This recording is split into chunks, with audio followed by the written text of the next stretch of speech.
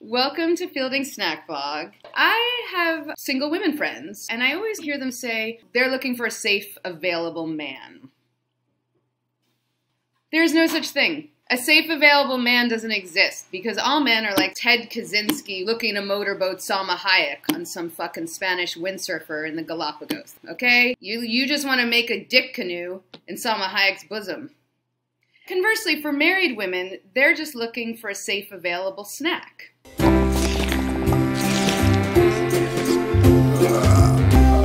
We know that a safe available man doesn't exist, but what is a safe available oh my snack? God. I say it's an indoor s'more. Here's what you need. You make a campfire, some menorah, and you need marshmallows, honey made graham crackers, and Ghirardelli chocolat. Is this like a Jewish thing? It's a Jewish campfire. I literally, I don't even know what you're doing. Now we roast the marshmallows. It's the third night of Hanukkah. No, it's this is the fire for the s'mores. Okay, I'm right here. And you roast. So it's cozy and it- has this become like a half an hour show now? why don't you go help the Flint water crisis? Okay. Oh shit. You literally don't even know how to do it. What, okay, so now okay, My so wife now cannot cook anything. but my husband can eat anything. So we have a graham cracker and take a piece of chocolate and then you have your s'more.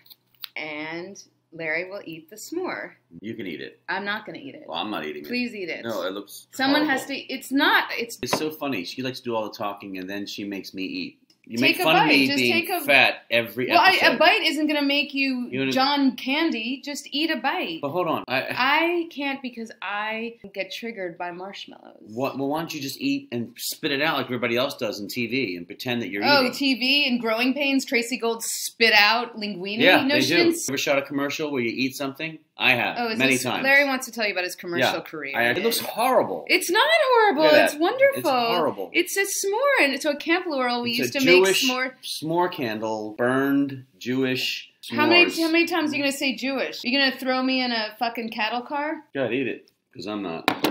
There you go. So this Oh really, thank God, you so much for tuning in. It will get on your hands, but that can probably come off with pneumonia or All right, I'll eat a little. okay. Isn't it wonderful? Mm-hmm, mm-hmm. Ew, can you not have a hanging white marshmallow? Did it get caught in your goatee that doesn't exist? oh God. You can't grow one. Anyway, thank you so much. This, This is is called an do. indoor s'more. And then you spit it out like it. Ew! That's how you shoot a commercial. Okay, I just probably lost 15 viewers from that. I mean, how can you fuck up s'mores? I didn't fuck it up, Larry. It's not good.